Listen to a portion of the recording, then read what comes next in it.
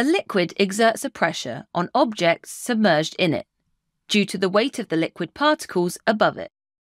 So remember that pressure is force spread out over an area. So the water exerts a pressure on the ice cube as the weight of the water pushes the particles against it. So, how does this pressure change as the ice cube sinks? Well, the deeper the object, the greater the pressure exerted on it.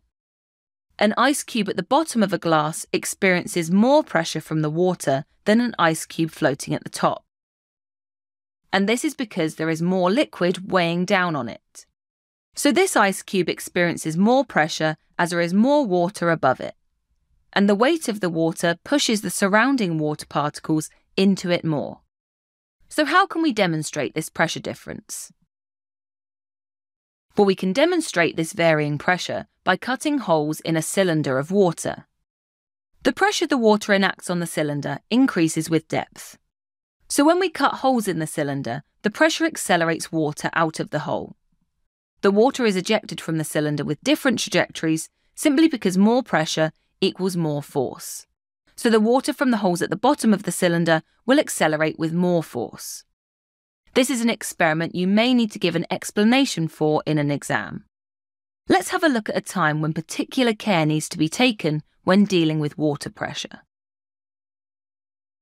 Divers need to be aware of how deep they dive and the pressure from the seawater above them. This is another example of the relation between pressure and depth that you may have to explain in an exam. Divers have to deal with high water pressures as there is a large amount of water above them weighing down. And this water pressure is highly dangerous. At a depth of just 10 metres, the pressure increases by one atmosphere, so it becomes double what we experience at sea level. So, this obviously makes exploring ocean depths very difficult. In fact, people have explored more of the solar system than the Earth's oceans. Thanks for watching. If you want to take your GCSE revision to the next level, head over to launchpadlearning.com and check out our smart learning platform that's been designed to get you top results in your exams. We cover your whole specification and make revision fun with interactive quizzes, easy to follow videos, and more. You'll be kept motivated by your own AI tutor who's here to support you every step of the way. To check it out for yourself, click here or click here to keep watching a selection of the videos from our full GCSE Physics course. See you there!